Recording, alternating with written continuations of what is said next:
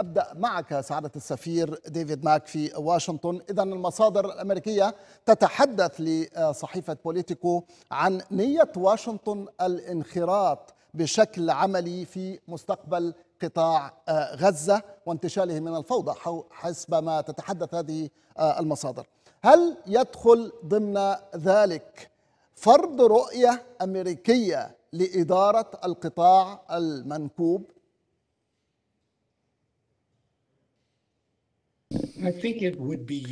أعتقد أنه سيكون من المفيد أن يكون هناك ممثل أمريكي ولكن قيادة الإدارة بالنسبة لقطاع غزة لابد وأن تأتي من الفلسطينيين الذين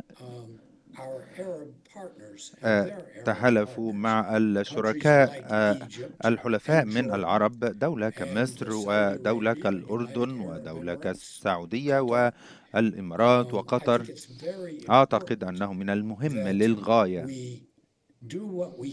أن نبذل ما في وسعنا من أجل إعادة إحياء القيادة الفلسطينية للضفة الغربية وغزة. كخطوة لأن يكون هناك حل دائم لهذه الحرب التي استمرت لأمد طويل ما بين الفلسطينيين والشعب الإسرائيلي. يعني تقول يا سعادة السفير بأنه لابد من وجود ممثل أمريكي في, في هذه المنظومة أو في هذه الرؤية. يعني وكأننا نستعيد ما فعلته الولايات المتحدة في العراق عندما غزت. هذه الدولة العربية في العام 2003 وعندما نصبت حاكما مدنيا للعراق هل تريدون تكرار نفس السيناريو؟